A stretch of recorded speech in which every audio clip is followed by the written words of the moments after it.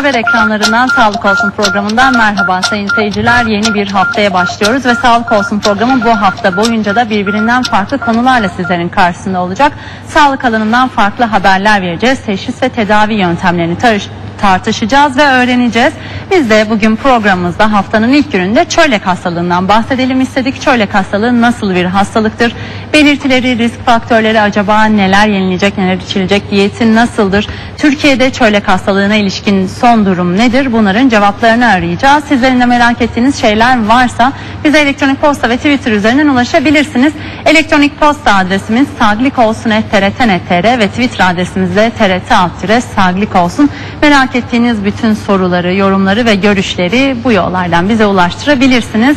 Peki bugün bize çölyak hastalığını kim anlatacak? Konuğumuz Hacettepe Üniversitesi Tıp Fakültesi İç Hastalıkları Anabilim Dalı Gastroenteroloji Bilim Dalı öğretim üyesi Profesör Doktor Halis Şimşek. Hoş geldiniz hocam. Hoş bulduk. Esra Hanım. Nasılsınız? Çok teşekkürler. Sizler nasılsınız? Bizlerdeyiz. Teşekkür ederiz. Hocam çölyak hastalığı aslında duyduğumuz, aşina olduğumuz bir hastalık ama biz şöyle aslında halk arasında biliyoruz. İşte marketlerde çölyak hastalarına özel ürünler satılıyor ya da çok zayıf birini gördüğümüzde diyorlar ki çölyak hastası, e, diyet yapıyor çölyak hastası ama bu kadar. E, çok e, cahilce bilgiler biliyoruz. Şimdi bilinçleneceğiz sizin anlattıklarınızla öğreneceğiz. Çölyak hastalığı nedir diye başlayalım mı? Tabii ki. Şimdi çölyak hastalığı son 20 yılda e, giderek artan bir hastalık. Nedeni de kolay tanı konulabiliyor oldu artık. Kan testiyle çölyak olduğunu ilk başta anlayabiliyoruz. Ama kesin çölyak hastası diyebilmemiz için ince bağırsaklardan örnek alıp konfirme etmemiz gerekiyor. Ee, Batı ülkelerinde çok sık. Aslında ülkemizdeki sıklığını da biz 10 yıl kadar önce yaptığımız bir çalışmayla gösterdik. Kan donörlerinde Türkiye'de yüzde bir çölyak hastalığı görülüyor. Çölyakın önemi eğer hastalığı düşünmezseniz, test istemezseniz anlamayabilirsiniz. Çok diğer hastalıklara çok fazla karışabiliyor. Hangi hastalarda biz çölyaktan şüpheleniyoruz? Örneğin e, karında şişkinlik olan hastalarda mutlaka bakıyoruz. Kansızlık varsa ve nedeni yoksa özellikle demir eksikliği anemisinde bakıyoruz. Kemik erimesi olanlarda erken yaşlarda önemli. Bayanlarda özellikle infertilitede, kısırlıkta, e, düşük yapanlarda, e, cilt hastalığı olanlarda, bazı özel dermatitlerde oldukça önemli. İshali varsa, hiç düzelmeyen, e, kilosu azsa, zayıf hastalarsa e, bakıyoruz. Çölyak hastalığı eskiden çocukların hastalığı olarak biliniyordu. Sonra anlaşıldı ki her yaşta olabiliyor. Ortalama görülme yaşı günümüzde 45 e, hemen hemen. O nedenle çölyakla ilgili e, semptomları olan tüm hastalarda çölyakı araştırıyoruz. Nasıl araştırıyoruz? Önce kan testi yapıyoruz. Çölyakla ilgili değişik kan testleri var. Bazıları aslında tanısal değil. Antigliadin diyoruz. Bazı tarama testleri olarak bazı laboratuvarlarda uygulanıyor. Bunların pozitif olması çölyak hastalığı olduğu anlamına gelmiyor. Ee, diğer tarama testleri var. Doku, transglutaminaz, IgA ve serum IgA'ya bakıyoruz. Eğer bunlar pozitif ise o zaman endoskopi yapıp ince bağırsaklardan biyopsi alıyoruz. Aslında her hastada çölyak hastalığı farklı seyrediyor. Nedenine gelince ince bağırsaklar çok uzun. Ee, genellikle tuttuğu yer ince bağırsakların başlangıç yeri oluyor. Duodenum dediğimiz. Bazı hastalarda sadece ilk kısmı tutabiliyor. Bazılarında tamamını tutabiliyor. Bazılarında yama şeklinde ince bağırsağı tutabiliyor. Dolayısıyla semptomlar tuttuğu bölgeye göre farklılıklar gösteriyor. Peki hocam çölyak hastalığının risk faktörleri nelerdir desek? Ee, neler tetikliyor çölyak hastalığını? Çölyak hastalığını arpa, çavdar, yulaf gibi e, gıda maddelerinde bulunan gluten, glutenin içinde de gliadin dediğimiz bir madde var. Bu aslında çölyağı tetikliyor. Zaten bazılarında uzun süre sonra ortaya çıkması daha uzun süre bir maruziyet gerektirdiği için gliadine oluyor. Ee, o nedenle ne kadar buğday türü şeyler tüketiliyorsa miktar olarak o kadar fazla görülebiliyor. Eğer altta çölyak hastalığı varsa pardon. Kimlerde çölyak düşünmeliyiz? Mesela özel tür dermatiti varsa e, kişide yüzde seksene yakın çölyak birlikteliği olabiliyor. e, karaciğer fonksiyon testleri bozuksa artık halkımız da biliyor ALT yüksekliği varsa o zaman yine çölyakı mutlaka araştırıyoruz. Tiroid hastalıklarında otoimmün çölyak olabiliyor. E, diyabetlerde çölyak görüyoruz. Az önce de bahsettiğimiz gibi kısırlık varsa çölyak araştırılması gerekiyor. Bazen Down sendromu dediğimiz e, sendromlarda doğuştan olan durumlarda yine e, çölyak hastalığını araştırmamız gerekiyor. Özellikle ailede hele ikizlerde çölyak varsa çölyak hastalığı görülme ihtimali çok yüksek oluyor. Bazen de hastalarımız diyorlar ki çölyak şu anda yok ama gerçekten olacak mı olmayacak mı? Erken yaşta çölyak görülmeyebiliyor. İleri yaşlarda ortaya çıkabiliyor. O tür durumlarda da HLA bakıyoruz. Doku tiplendirmesi. DR2 ve 8'e bakıyoruz. DQ2, DQ8. Eğer bunların her ikisi de negatifse olma ihtimali %1'in altına iniyor. Peki hocam şimdi ikizlerden bahsederken ikizlerde varsa dediniz o zaman genetik faktörler de söz konusudur diyebilir miyiz? Elbette. Yani annesinde babasına varsa çocukta da çıkabilir Elbette, diye. elbette. Genetik faktör önemli. Ailede eğer çölyak varsa mutlaka çölyakı araştırıyoruz. Bir de e, çölyak genellikle ince bağırsakları tuttuğu için ince bağırsakta bazı vitaminlerin emildiği yer. Örneğin K vitamini, D vitamini, folik asit, demir gibi emilim bozuk olunca bunlara bağlı semptomlar ortaya çıkıyor. Örneğin B12 emilimi eksik olduğu zaman bazı nörolojik semptomlar ortaya çıkıyor. Baş ağrısı olabiliyor, epilepsi olabiliyor, ataksi olabiliyor, uyuşmalar olabiliyor. Ee, yani her tür hastada aslında çölyakı düşünmemiz gerekiyor. Yine toplumda sık görülen ve mutlaka baktığımız bir hastalık grubu var. Irritable bağırsak sendromu. Toplumda yüzde 13 görülüyor. Birlikte görüldüğü, e, sık görüldüğü ve araştırılması gereken tek hastalık çölyak hastalığı. O nedenle onlarda da çölyak hastalığını araştırıyoruz. Irritable bağırsak sendromunda da baskın semptom kabızlık, ishal ya da gaz, şişkinlik olabiliyor. Bunların her üçü de aslında çölyakın önemli semptomlarından. O nedenle irritable bağırsak sendromu düşünüyorsak çölyak testi yapıyoruz. Çölyak tarama testi, kan testi. Kanda eğer çölyak testleri varsa endoskopi yapıp biyopsi alıyoruz. Endoskopi dediğimizde aslında hastalarımız baştan çok korkuyorlar. Artık günümüzde endoskopi son derece basit uygulanabilir. Sedasyon altında yapılan testler endoskopi yaptıktan sonra hastaya soruyoruz. Endoskopi yapabilir miyiz size diyoruz. Elbette yapabilirsiniz diyor. İşlemin yapıldığını bile unutmuş oluyor. O nedenle gerekli olan testlerden ve tekniklerden kaçınmamak lazım. Peki hocam çölyakta kesin teşhis koymak için çünkü şimdi anlattınız aslında birçok hastalıkla bağlantısı var ve onun da çok güzel teşhis edilmesi bu işi gerçekten bilen hekimlerin teşhis etmesi gerekiyor. Eğer onu teşhis edemezlerse belki çölyak hastası ama yıllarca haberi olmayacak. Şimdi kesin teşhis için endoskopi ya da kolonoskopi şart mıdır e, bu değerlerin dışında kan değerlerinin dışında mesela? Evet kesin teşhis için endoskopi şart. Neden? Bir grup hastada kanda çölyak testleri pozitif oluyor. Eğer ince bağırsakta doku hasarı yoksa ince bağırsak böyle girinti çıkıntılarla devam ediyor. Çölyak varsa düzleşiyor. Atrofi diyoruz. Dümdüz oluyor. Dolayısıyla emilim olmuyor. Her ikisinin bir arada olması lazım. Bir grup hastada kan testi pozitif oluyor ama ince bağırsaklarda tutulum olmayabiliyor. O zaman onları takip ediyoruz. Ee, periyodik olarak ince bağırsaklara bakıyoruz. Eğer doku hasarı varsa çölyak kabul ediyoruz. Bazen de tam tersi oluyor. İnce bağırsaklardan biyopsi alıyoruz, düzleşme oluyor ama kan testleri pozitif olmuyor. Her iki durumda da çölyak demiyoruz. Çünkü ince bağırsaklarda düzleşme yapan birçok faktör var. Örneğin aşırı bakteri çoğalması, bazı viral enfeksiyonlar gibi düzleşme yapan durumlar oluyor ama bunlar çölyak değil. İki şey gerekli. Bir kan testleri pozitif olacak. İki endoskopik olarak da doku hasarı gösterilmiş olacak. Peki diyelim bu teşhis konuldu. Yeme içme alışkanlıklarıyla da çok alakalı olduğunu söyledik. Özellikle diyetler uygulanıyor Evet. beslenme konusunda. Ee, biraz önce programın başında da ifade ettiğimiz marketlerde çölyak hastalarına özel ürünleri görüyoruz ama sadece onlarla mı sınırlı? Şimdi siz dediniz işte arpa, buğday bunlara karşı bir alerjisi söz konusu olabilir. Genel beslenmelerinden de bahsedelim mi? Elbette. Tabii çok sıkıntılı bir durum. İki nedenle sıkıntılı. Yaşam boyu diyete uymaları gerekiyor. Ve e, maalesef ülkemizde çok yaygın çölyakla ilgili gıdalar yok. E, devlet çölyak hastalarına aylık gıda giderlerini ödüyor, karşılıyor. Bunlara rapor çıkarıyoruz. Un, makarna gibi çölyak iç- e, gluten içermeyen gıdalar veriyor ama diğerlerini kendileri temin ediyorlar.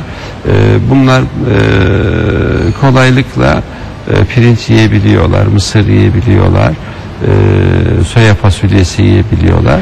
Genellikle buğday e, içermeyen e, gıdalar yemeleri gerekiyor. Ekmek de ayrı olacak o zaman. Evet, ekmek ayrı ekmek yapıyorlar.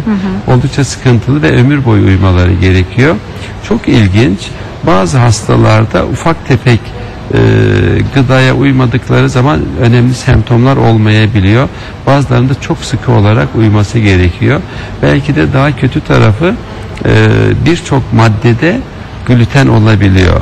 Örneğin e, diş macununda olabiliyor, bazı sakızlarda olabiliyor, dudak boyasında olabiliyor, vitamin içeren tabletlerde olabiliyor. E, çok hassas olanlar bunlara çok dikkat etmek zorundalar.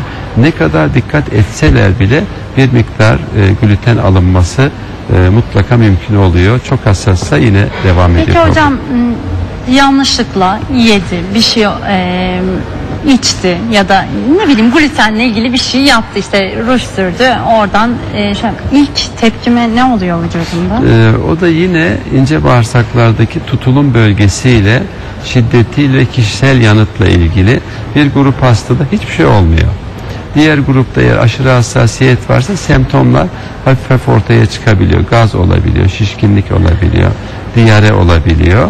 Ee, ama alınan gluten miktarıyla semptomlar diyet e, süresince korelasyon gösteriyor. Ne kadar çok gluten alırsa semptom olma ihtimali o kadar artıyor.